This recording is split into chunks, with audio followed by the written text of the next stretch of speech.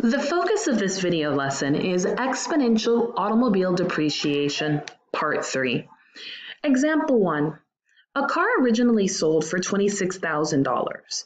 It depreciates exponentially at a rate of 5.5% per year. When purchasing the car, Richard puts $6,000 down and pays $400 per month to pay off the balance. After how many years will his car's value equal the amount he paid to date for the car? All right, so let's start by looking at our depreciation equation.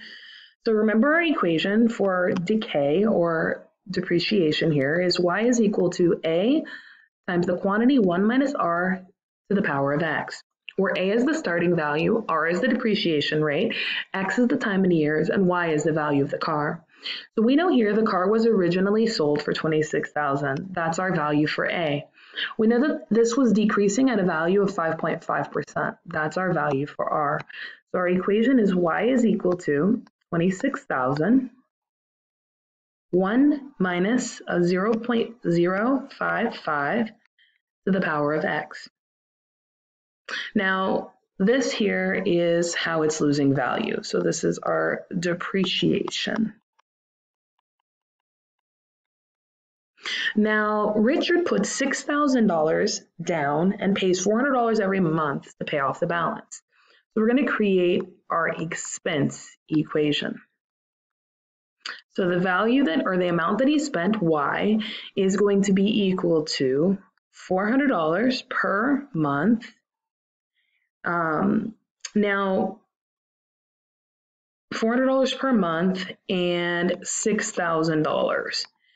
Now, we're going to have a little bit of an issue in trying to um, look at this directly. Um, let me explain. So our original equation here uses years.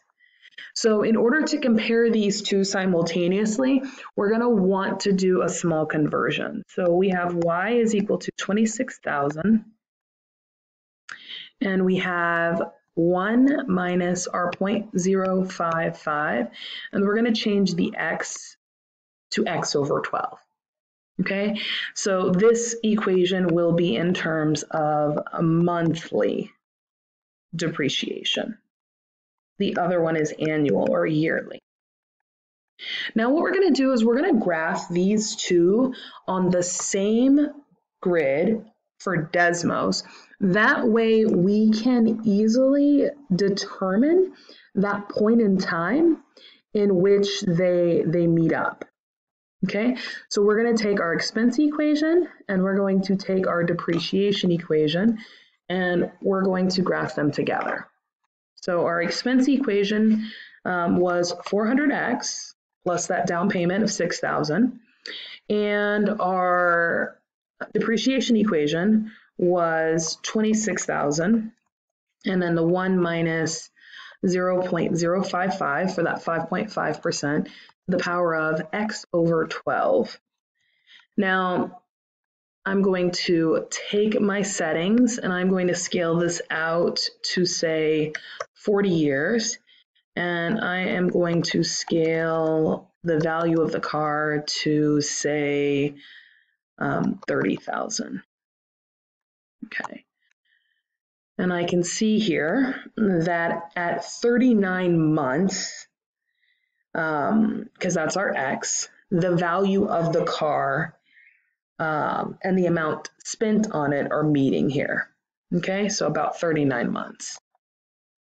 So we have our coordinates um, for that intersection. So let's put here, they intersect at about 39 comma 21,626 21,626 and 69 cents.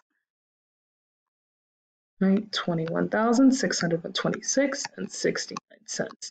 And so the question was remember how many years will the value equal the amount he's paid to date? So remember, X is val X is years and Y is value. So our answer is going to be about, sorry, we're not doing years here, we're doing months because we did the conversion.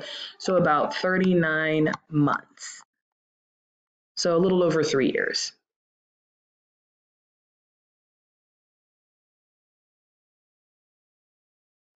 Now it's your turn to try. Describe the situation above after four years. So tell me what it means for Richard after four years in terms of his expense versus his um, versus the value of the car.